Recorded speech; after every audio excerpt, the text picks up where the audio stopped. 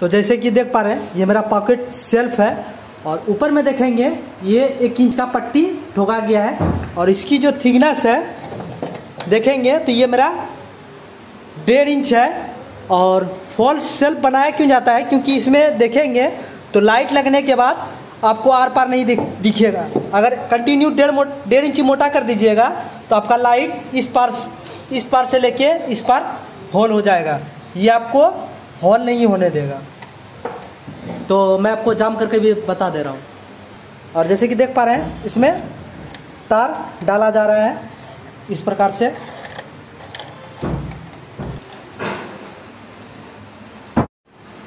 और इस प्रकार से आपको, यहाँ इस प्रकार से आपको डाल देना, देखिए, कोई दिक्कत नहीं हुआ। और ये देख लीजिए, और ऊपर से आपको कील मार देना है, ये फिक्स हो जाएगा। तो मैं आपको इसका वीडियो दिखाऊँगा और मेरे चैनल पर न्यू आए चैनल को सब्सक्राइब कर लीजिएगा। तो मिलते हैं नेक्स्ट वीडियो